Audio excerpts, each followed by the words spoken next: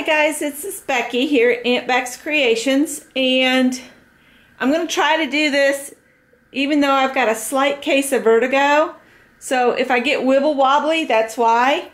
I was going to try to use up some papers I already have. I have one of those file folder boxes that's nothing but solid papers and then I have one that's nothing but old, old, you know, print papers. And I have this apple red scrap pad, and this is by Provo Craft. Introduces color wheel paper collection. Uh, I looked and looked to see a date on it, but I never did find a date. But you know, this thing is 1980s probably, 90s at the latest.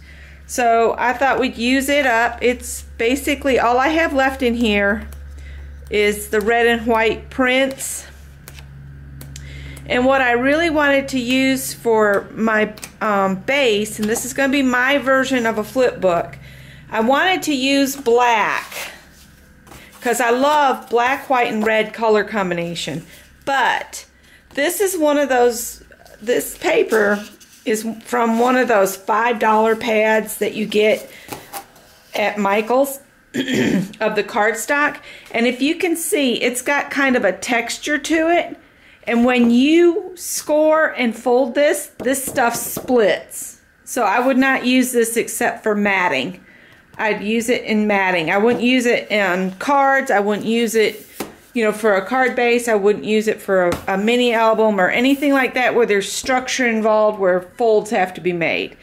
So, and I don't have any 12 by 12 just plain white. I have this cream. So we're going to go with what I have. What so we're going to start with this. We'll set these aside. I'm going to keep the black out because we may use it for um, backgrounds, uh, mats. So we're not going to cut first. We're going to score first, okay? Now, let's focus on our quarter inch gussets on each page. And I'll show you what I mean. Because you want to end up with a quarter of an inch basically down the middle of this paper you're going to come to five and seven eighths. I'll come in a little bit tighter here. All right. So five and seven eighths okay? And you're going to score all the way down the sheet of paper at five and seven eighths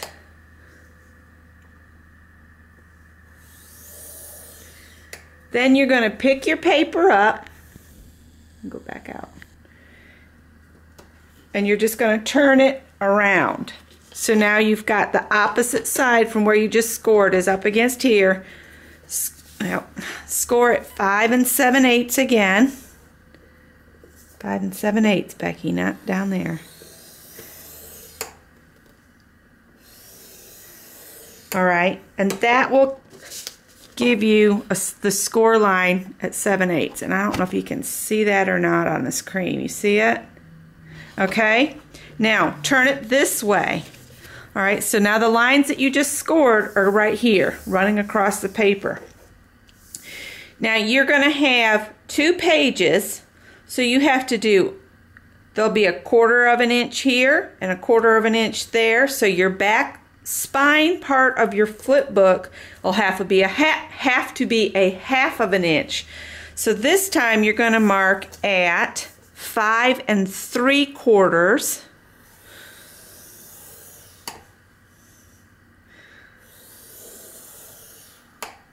Then pick it up and turn it all the way around. So now you're on the opposite side from where you just scored and score it again at the five and three quarters. And what this will do is it'll give you a half an inch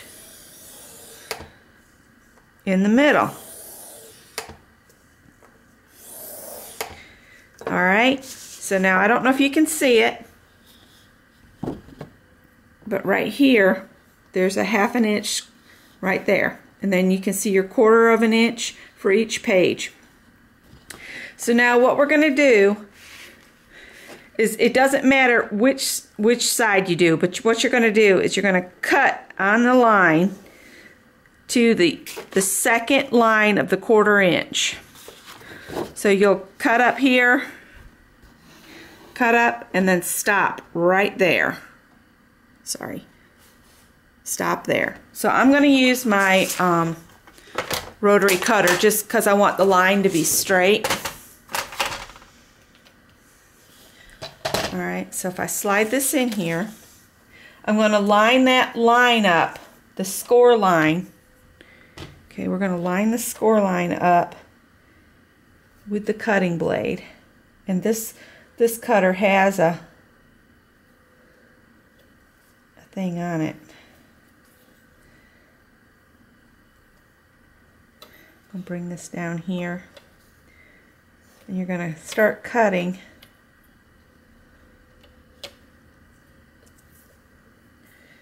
Hard to see that score line. Man, is it hard to see that score line. And then I'm going to cut all the way up like that. Hopefully I got it on it. Yep, did pretty good. So see, now you're only cut down to here. Okay? And that'll be at the second, from that end, it'll be your second line at your quarter inch. And if you don't get it quite cut where you want to be, and you know, you're not quite up to it, you can uh, use scissors to do just a little snip. All right, there we go. So we'll put the cutter over here. So now you're ending up like this. See? And what we're going to do is we're going to cut this tongue out right at that second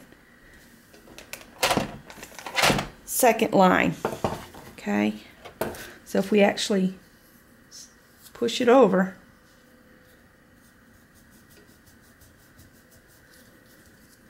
All right, now we're going to cut that off, and I just use scissors and snip it off, and these scissors aren't the ones I usually use. I like to use these little ones that are made really for fussy cutting because you can get right in there better.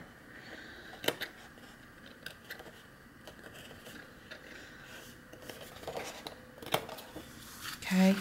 And then that, you can save it if you want to use it as a sentiment strip or whatever. But see now, you're going to fold, fold on your two lines down. So you're going to fold the first one. And you don't have to crease these, you just want it to be folded. And then you want to get on that other fold. Okay, and so see that gives you the quarter inch gusset on there. Okay, we'll do the same on this side. So, well, that first one's wanting to fold first, so we'll do that one first. And then I'm going to fold this one. Okay, so now you have the two quarter inch gussets. Now you're going to have your spine here. You might have to fold these back up because to get your spine to fold. Okay. Get your spine to fold this way.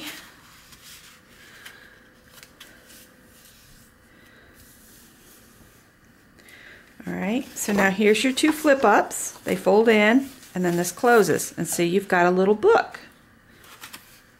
Half inch binding, quarter inch here. And when it opens, these flip up. Okay. Now you can decorate it any way you want to.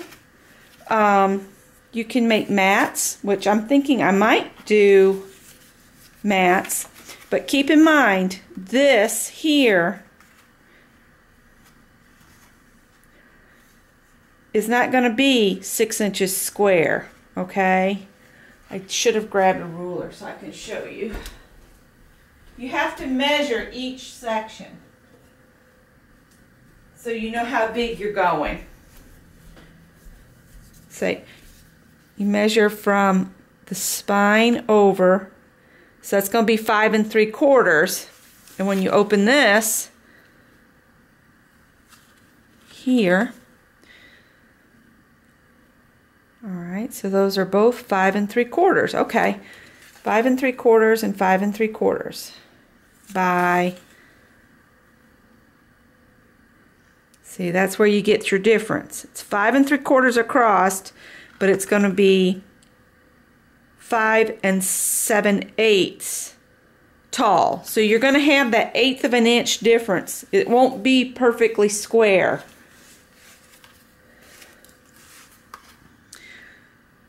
Yeah. So you're going to end up with five and three quarters this way, five and seven eighths that way. So you have to keep that in mind when you're trimming your mats. Okay.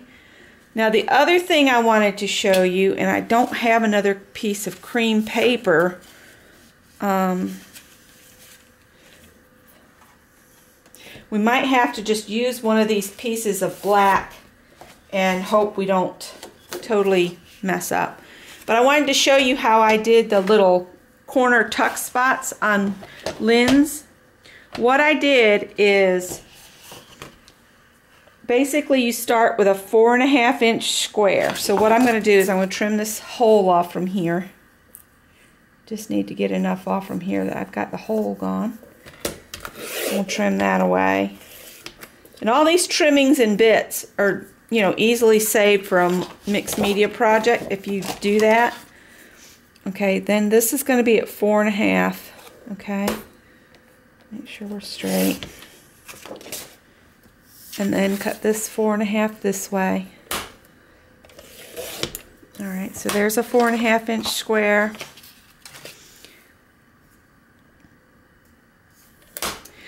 And there's a four and a half inch square. Okay, so there you got two four and a half inch squares. Then what you're to do and like I said, I would do this with paper that's not the $5 cheap stuff from Michael's because this stuff cracks. But this is all I have, and I'm kind of stuck here at the house today because my car's in the shop. I have to wait for Scott to go pay for the car, repair, get the keys, and we'll go back and get it. All right, what you're going to do is you're going to score a half an inch from two sides. So like, we'll score a half an inch down this is hard to do this way. Maybe we'll do it this way, and I'll go at four, score at four inches. And then just turn it one spot that way and score it at four inches. All right, we're going to do the other one while we're while we got this out.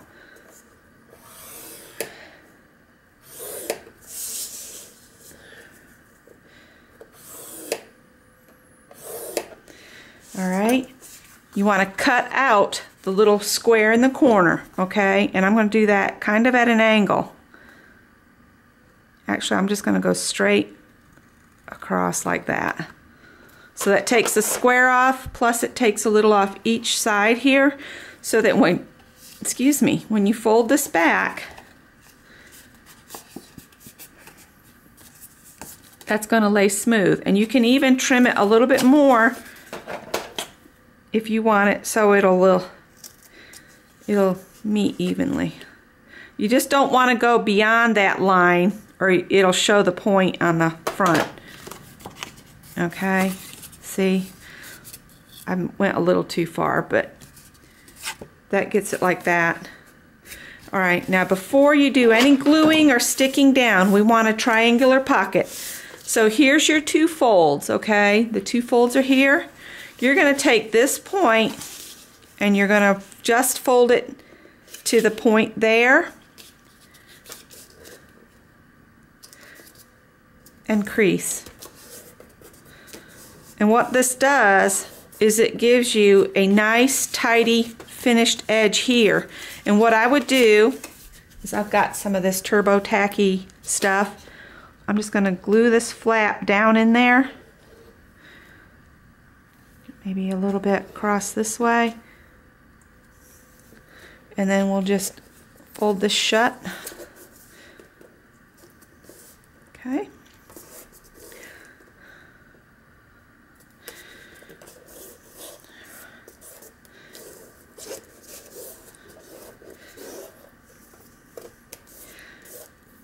I'm just going to make these and set them aside to dry. So I'll make the other one. Okay. You can trim these corners off too if you want to. Might do that just to reduce bulk. Just trim the corner off like that. Okay, so there you go. So once this dries and we've gotten to the that point, we'll apply this to one of our um, sheets we're going to put down matted pieces. And that'll create a little pocket right here. So let me go ahead, we'll set those aside. Let me go ahead and do this one.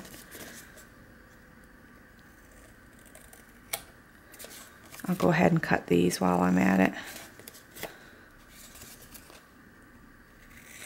These are the corners. Uh, here's your creases. And I just trimmed those away. Alright, we'll fold that up. And this paper doesn't like to be open and closed a lot, and that's when the cracking happens. But since these will be kind of stable in position uh, little tucky spots, I'm hoping it won't crack. It's just this stuff is not really made to to fold and undo like a mini album or whatever. I would suggest not using it for that. You can ask me how I know because I tried to do a mini album and I ended up having to use lace and stuff to like hold the thing together. All right, so there we've made two tuck spots and if you make them ahead, then this glue here will be totally dry by the time you get to the next. To, you know, by the time you get to it to actually put it together. Get me a baby wipe out to get this glue off my finger because for some reason things like that are irritating me today. Just the feel of glue on my fingers is irritating me. I don't know. This vertigo is something else. All right. So there's those set aside. And I don't think we're going to need this anymore, so we'll We'll get it out of our way. All right, now, do we want to do black mats on everything to start? That might look kind of cool to have a black mat on the cream. And if I did it all the way to the edges, then we wouldn't see this cream when we got done. I might do that. Or we wouldn't see much of the cream. It would just kind of peek out. I gotta take my sweater off. I'm starting to burn up again. All right, so we said five and three quarters by five and seven eighths. Got this piece here. Let's trim this little bit off. It's got a little damaged section. I'll show you how to do one page of it um, with just matting and then I'll show you how to do one page with one of the pockets and then basically the rest of it's just a repeat of the same thing, you know. So I did that one at what? Is that at the five and seven eighths? No, that was at the, no, that's, all right. That was the five and seven eighths. So now we need to do, or was it? Shoot, I don't know. All right, this way needs to be five and seven eighths. I almost messed up. Five and seven eighths five and seven eighths. Okay, now the problem we're going to have is this isn't solid core, it's white.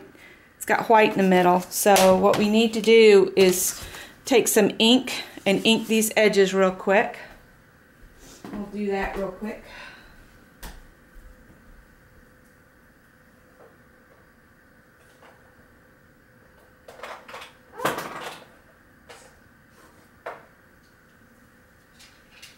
I'm going to open this pigment ink that I bought.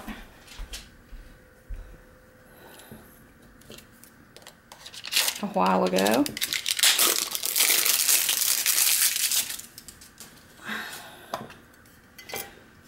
Because it'll be nice and juicy. And just doing this hides that white core.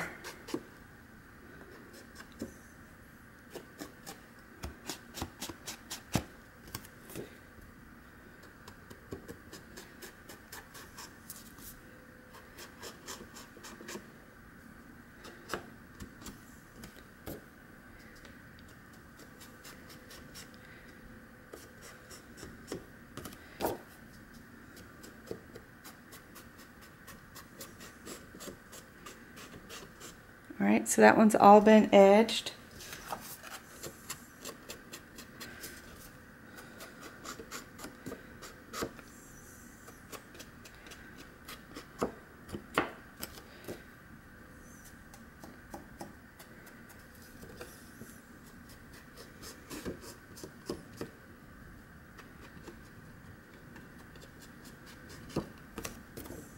And these are just cheap old dollar um, Dollar Tree makeup sponges is what I use to apply my ink like this.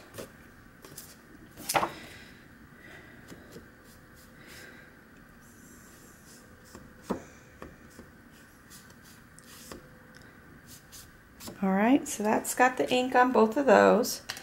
Now, I'm going to let them dry a minute and we'll decide which paper we might like to use for the cover because the the front the front here is your cover of course Durr. and um let's see. I'm thinking I want it to be something with more red. There's a solid red and then there's that one. I kind of like this check all right, so this is going to be matted onto the black piece that we just did at the five and three quarters by five and seven eighths. So we want to come down um, either an eighth or a quarter of an inch. Let's see, if we come down an eighth, so that'd be five and three quarters. And then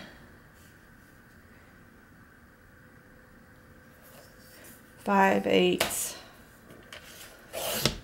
Let's just see how that looks because we can always trim a little bit more. I don't know. I think I might actually like a little bit more showing.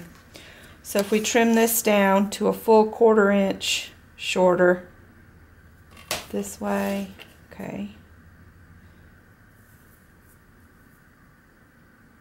Actually, that way would be right.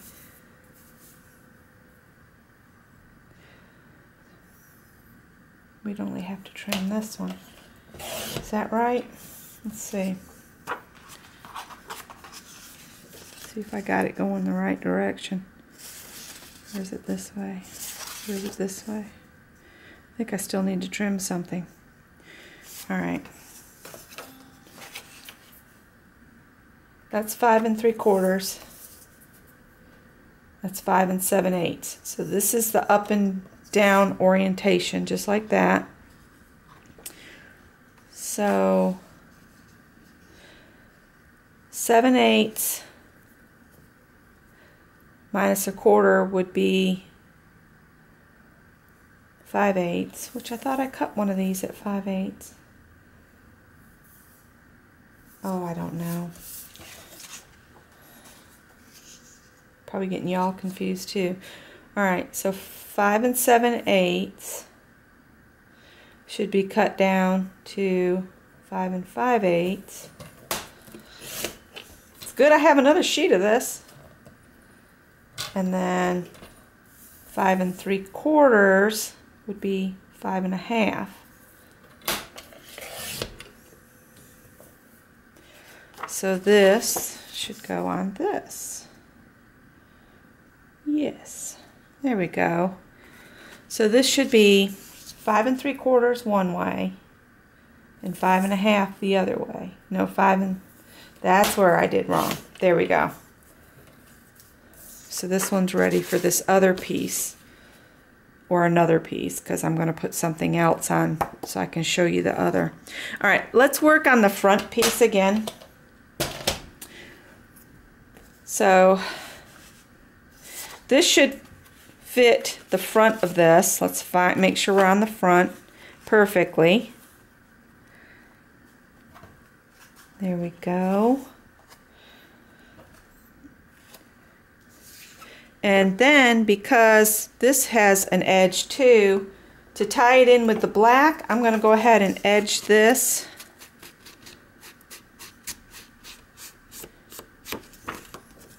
all the way around again.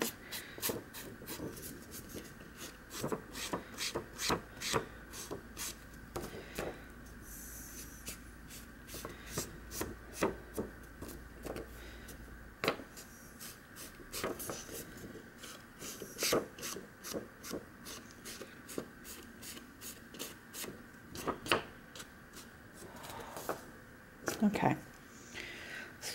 Always put the lid back on so your ink doesn't dry out. Here we go. Now, other way, this way.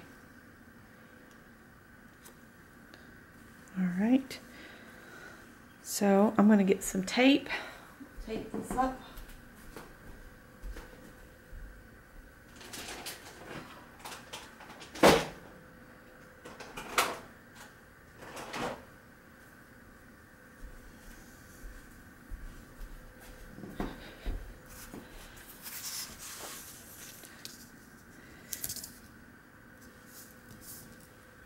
These flip books. Oh no, I got it on my table cloth.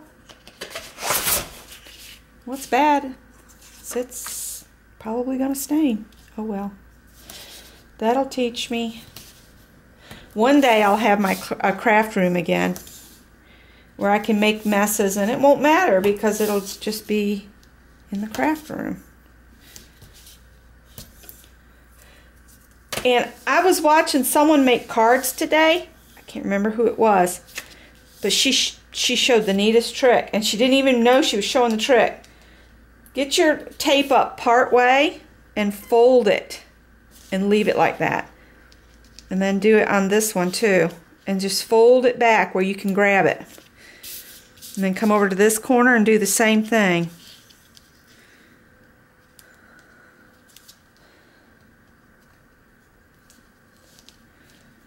It was somebody making a card. Oh, I wish I could remember who it was. If you're watching, say it was me, okay? so here's the base. You're probably not going to be able to see it now. And see the tags hanging out? This is the coolest thing. I wish I'd thought of it. I think I got it the wrong way. Do I? No, I had it right the first time. There we go. Now you can center it up and get it nice and square.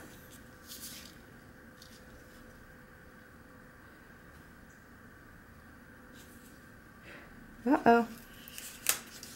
See, you can pull it loose still.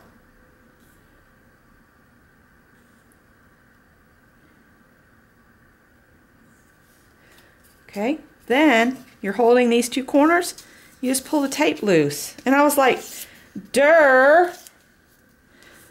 Here I've been struggling and fussing about how to get it even and everything. That is the best I've ever done on something like this. That is wild. Look at that. I am so glad I saw her do that. Now y'all have to do that too. All right, now let's put this on here.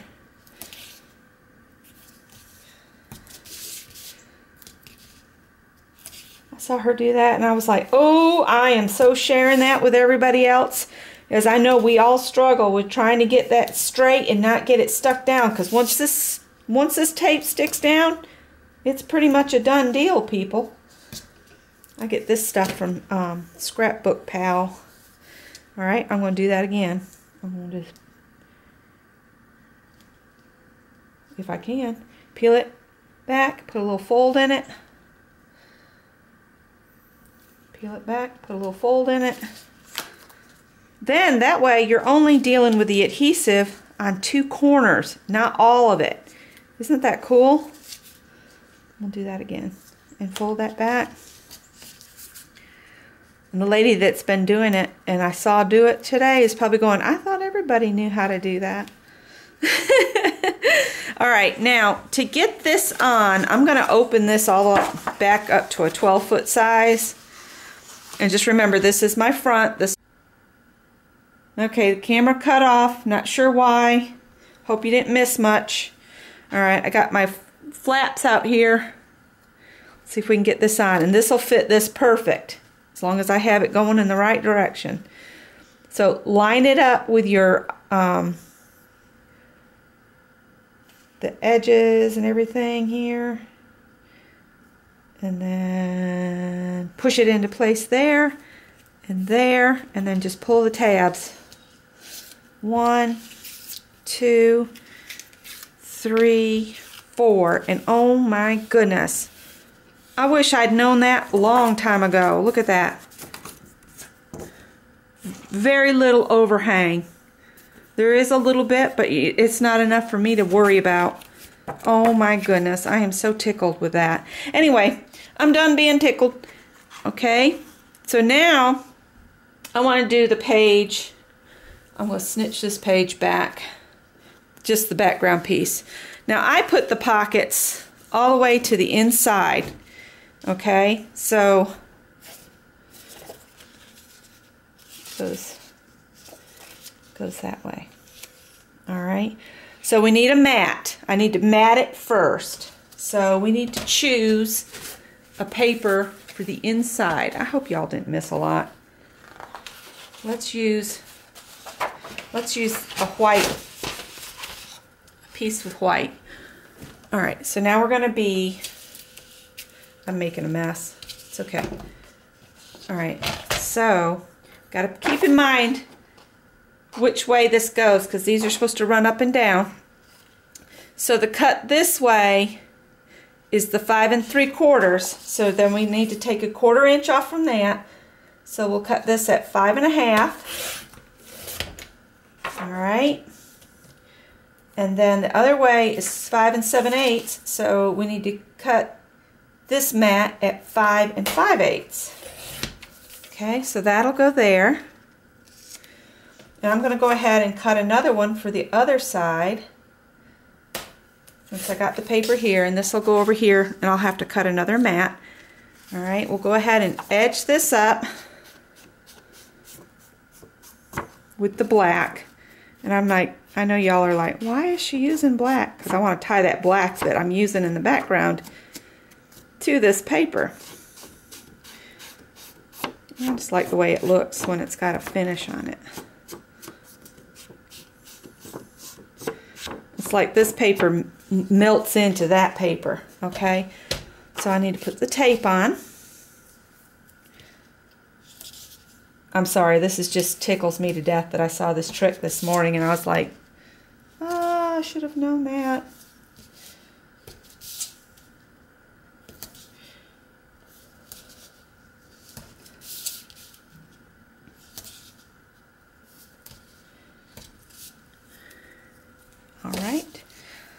Push those all down nice and even.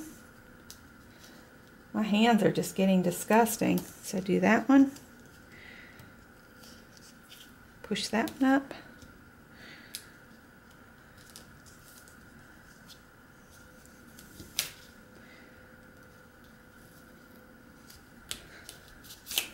Go ahead and wipe my fingers a little bit I'm not getting it all over white. And yes, I'm leaning way across the table and I probably shouldn't be. All right, so now we know this goes on here. And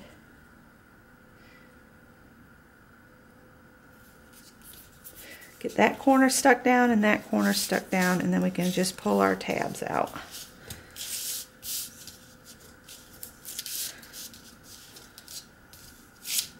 Ah, not sure that one all the way pulled out, and I think I got it crooked as all get out. I did. I can't see on the back of this, and I know I'm not going to get this back up. All right, we're not going to worry about it. it's driving me crazy, but I'm not going to worry about it. All right, now before you stick this down, we want to put the pocket on, okay? Like this. And what you're going to do you're going to put adhesive on the, this side. And you don't have to put a lot because you're going to, in turn, you're going to, after you put this on there, you're going to put tape all over the back.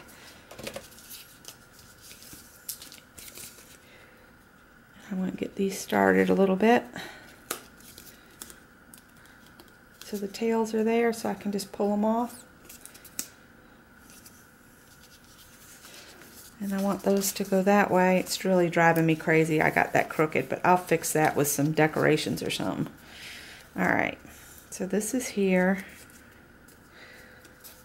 All right, you're gonna fold these over.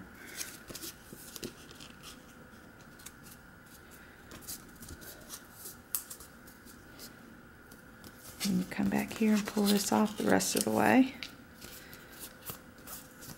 pull this one off that way. All right, now your tuck spot is held in place. And now you're gonna adhere the whole thing down there. So come all the way to the edge, all the way up.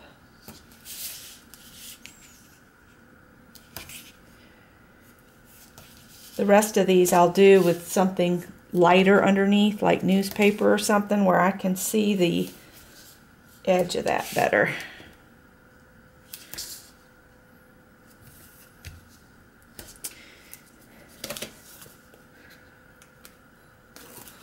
Ah, I tore it all the way off.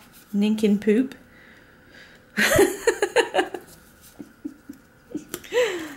oh my goodness. It's all right. It's only one side. I didn't pull them all loose.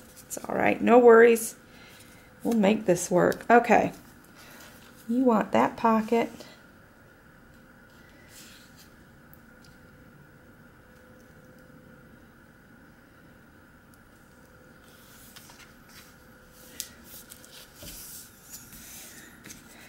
I'll pull that one up there.